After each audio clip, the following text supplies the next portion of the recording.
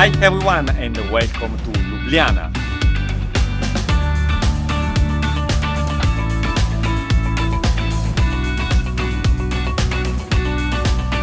Between Venice and Vienna, the picturesque city of Ljubljana is one of the smallest European capitals.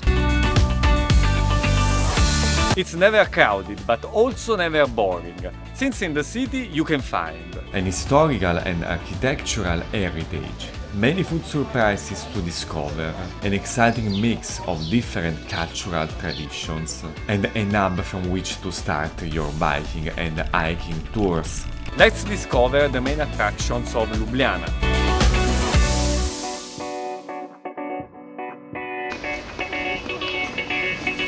Ljubljana Castle, built in 11th century, is the main attraction of the city.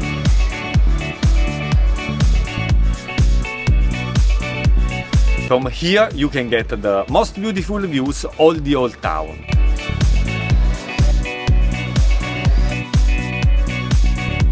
The architect Plečnik had a major impact on the modern architecture of Vienna and Prague, and the Triple Bridge here in Ljubljana is one of his most famous work.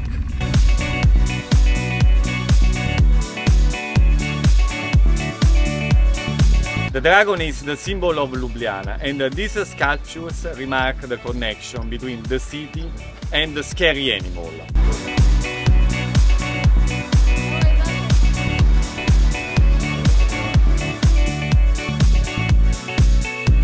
If you want to escape to nature from the center, visit Tivoli Park, the main green area of the city, which goes down from Rožnik Hill with so a lot of walking paths.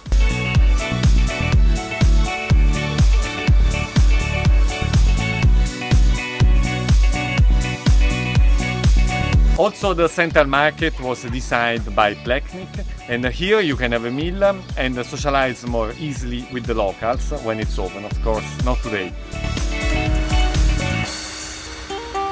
Prešernov Square is the heart of the historic center. Here you can find the pink facade of the Franciscan church, which is probably the most iconic image of Ljubljana.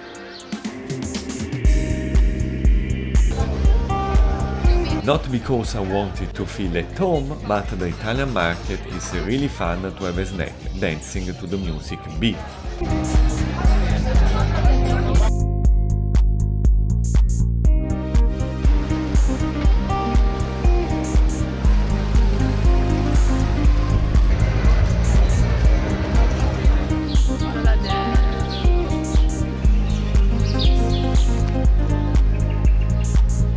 Park Špica is one of my favorite places in Ljubljana, where relax after a touristic walk. These are the attractions I liked the most about Ljubljana. Other secondary places of interest to me are the cathedral,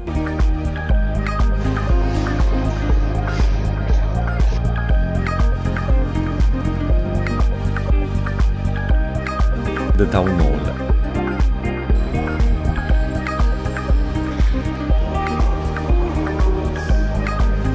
and uh, the Cukrarna Gallery.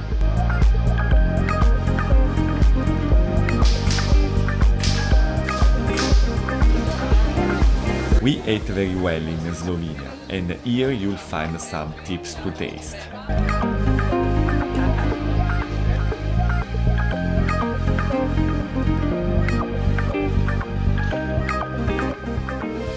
If you can spend more days in Slovenia, you can be based in Ljubljana to visit many nearby attractions.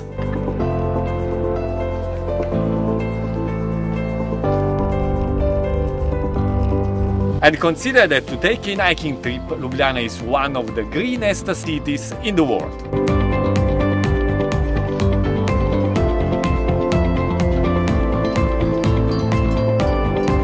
Velika Planina is an enchanted village surrounded by mountains.